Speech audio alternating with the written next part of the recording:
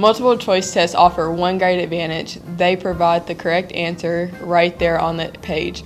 ACT has the correct answer behind wrong ones, but when you cross off just one or two wrong answers, the correct answer can become more obvious.